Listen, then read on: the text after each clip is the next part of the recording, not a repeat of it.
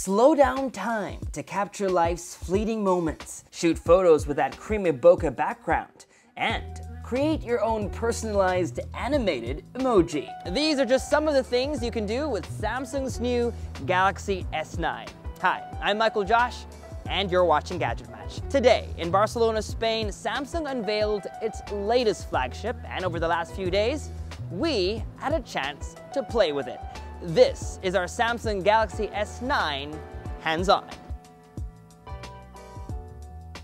So, this is it, the Galaxy S9. I know what you're thinking. This looks just like last year's model.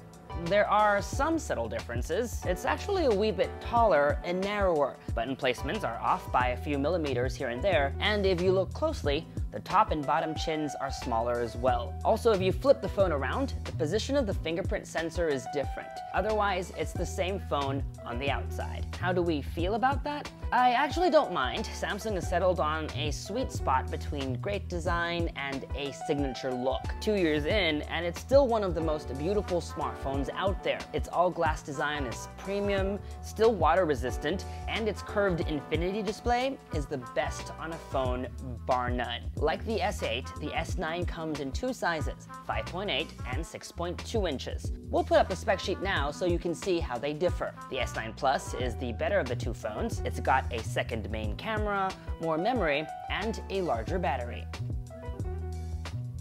If you look at the roster of the current best smartphones in the world today, one thing they all have in common is a great camera. In some ways, it's almost the tiebreaker, which determines which among these phones is best among the best. Perhaps it comes as no surprise then that on the S9, building the best camera was Samsung's primary focus. It's what will set this phone apart from its predecessor and its competition. Let's throw some specs out there. A super fast f1.5 lens, the fastest we've seen on a smartphone, and the kind of lens you'll want when you're looking for great background blur and great photos even when there is hardly any available light. That lens is also an f2.4 lens, and with a feature called dual aperture, the lens adjusts between the two apertures to let in more light as needed. So when you need more light, it will shoot at f1.5, and when there is plenty of available light, it will switch to f2.4 so you get more detail and sharpness. The camera app does this automatically, but you can manually switch between the two when in Pro mode.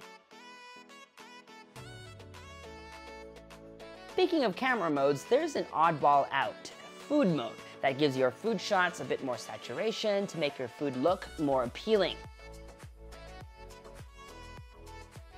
One very important thing worth pointing out is that of these two phones, only the larger model, the S9 Plus, has a dual camera. Two cameras means you get the same feature we saw on the Note 8 called Live Focus, which lets you adjust background blur during and after a photo is taken. This feature isn't available on the S9.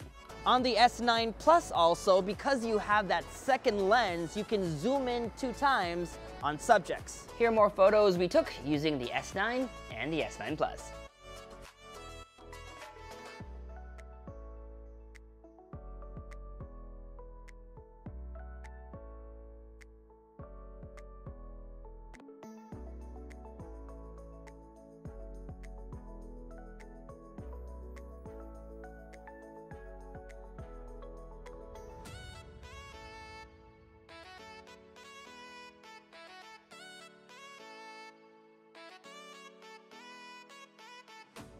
Unlike Samsung's 2018 premium mid-rangers, the A8 and A8 Plus, the S9 and the S9 Plus have only one selfie camera, not two. But software instead of hardware still allows you to take selfies with that beautiful blurry background effect. It's available via a feature called Selfie Focus. We took plenty of selfies and were impressed by the phone's ability to cut out subjects.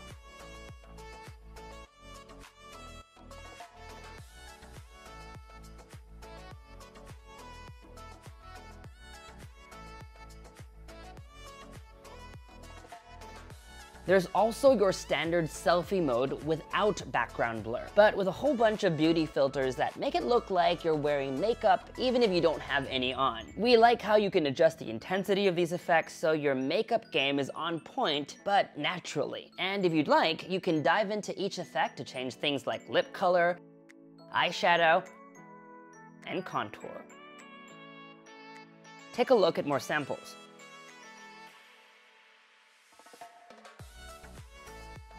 Okay, so here's where it gets really exciting. One of the new things you can do on the Samsung Galaxy S9 is super slow-mo video capture. 960 frames per second to be exact. That's four times more than what the S8 could do. That means it can slow down time like this. So how does it work? On the S9, there are two ways to capture super slow-mo video. See this box over here? When you hit the record button, motion detectors go on standby and slow-mo capture starts automatically once motion is detected in the area designated by the box. It doesn't work for all shooting conditions, but you can switch to manual mode and manually trigger when you want slow-mo capture to begin. Trust me, it'll take a lot of practice to get your timing just right, but when you do, magic.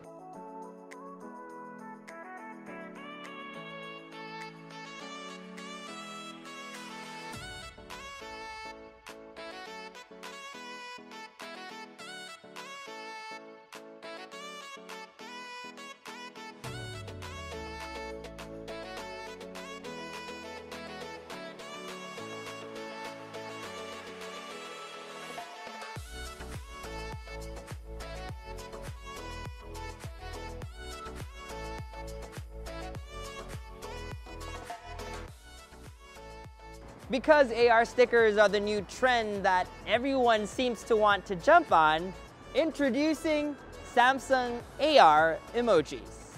On the S9, you can create emoji characters of yourself and your friends. Do this from the camera app. Swipe to get to AR emoji mode, tap create my emoji, then take a selfie.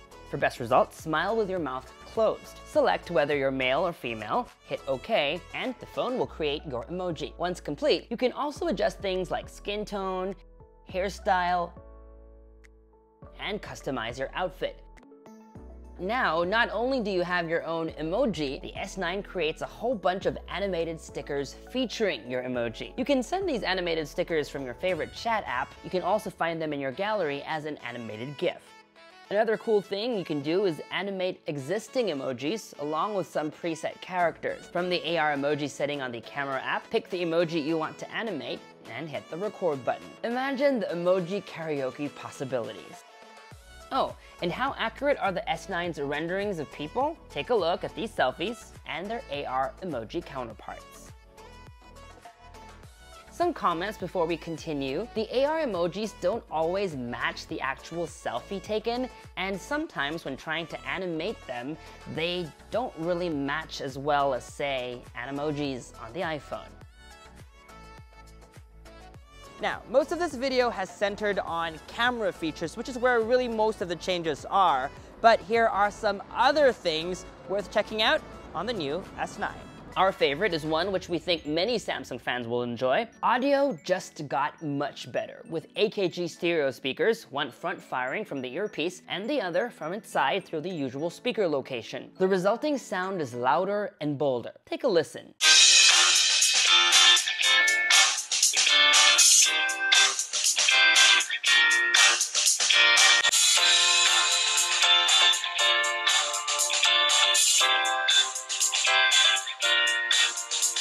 The S9 also has Dolby Atmos. This is great for more immersive sound when consuming content. This sample clip may not do it justice, but listen anyway.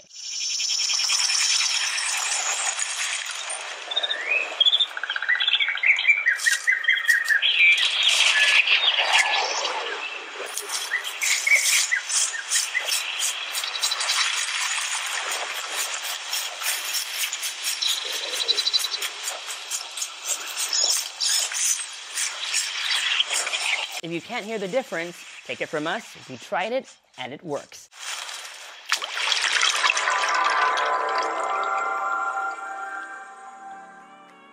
On the S9, you got the usual host of security features, but now there's a setting called Intelligent Scan, which merges both facial recognition and its iris scanner for supposedly improved security performance in low light and outdoors when it's very bright also.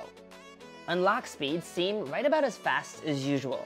Speaking of biometrics, up top we mentioned that the fingerprint sensor was in a new place. It's now below the camera. We like this layout better, but think it's still too close to the camera so it doesn't quite solve the problem of accidental smudges. Oh, and for those of you that care about color, there are new color options also, including this new purple shade that matches the Pantone color of the year. So, is the Samsung Galaxy S9 your gadget match? It's way too early to tell, but we promised we're working on a full review and that will be out really soon. I'll tell you this, however, even if the S9 doesn't have the same wow factor that the S8 did when it launched, Samsung has really set the bar high in 2018. But unfortunately, that also includes its high price tag. And that was our Samsung Galaxy S9 hands-on. For more videos like this one, you know the drill folks, subscribe to our YouTube channel, like our Facebook page, follow Gadget Match on social media, and make GadgetMatch.com your daily habit. From here in Barcelona, Spain, I'm Michael Josh. Thanks for dropping by.